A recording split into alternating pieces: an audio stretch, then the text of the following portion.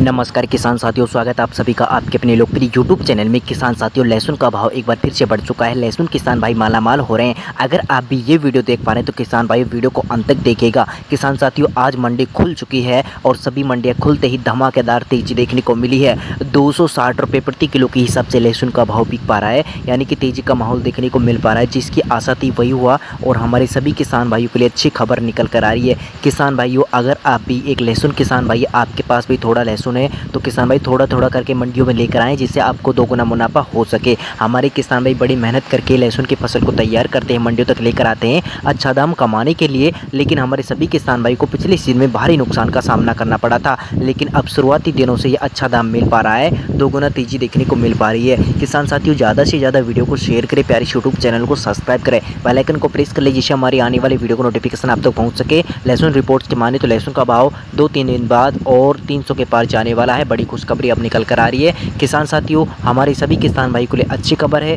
ज़्यादा से ज़्यादा वीडियो को शेयर करें। वीडियो में बस इतने मिलते अगले वीडियो के साथ। तब तक के लिए जय जवान, जय किसान।